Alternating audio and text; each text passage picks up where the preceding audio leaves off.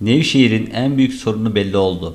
Nevşehir Anadolu RTV ve Kent Haber Gazetesi olarak şehrin nabzını tutan yeni bir anket düzenledik ve o anket 2 aylık oylama sonucunda tamamlandı. Ankette Nevşehirli vatandaşlara şehrin en büyük sorunu nedir sorusunu ilettik. Şıklarda çevre düzenlemesi, şehir meydanı, yatırım, çevre yolu, turizm, otel konaklama eksikliği, kira pahalılığı, konut pahalılığı, belediye hizmeti, kaldırım, yapılaşma, otopark, işsizlik, fabrika, sanayi, ulaşım, yol, okul, şehir merkezi düzenlemesi seçeneklerini sunduğumuz ankette toplamda 1651 oy kullanma oldu. Ankete katılanların %31.6'sı hepsinin başlı başına bir sorun olduğunu dile getirirken onun dışında %19.3 ile ankete en çok oy alan seçenek işsizlik oldu. Bunu takiben ise %12 ile fabrika, %8.9 ile yol, %7.1 ile çevre yolu, %6.8 ile sanayi seçeneği baş çekti. Diğer sorunlar ise oylamada %5'in altında kaldı. Tamamen dışarıdan müdahaleye kapalı olan bu ankette çıkan işsizlik sorununun kimin ya da kimlerin çözebileceği de kamuoyunda merak konusu haline geldi. Yorumlardan da anlaşıldığı üzere bu konuda özellikle iş insanlarının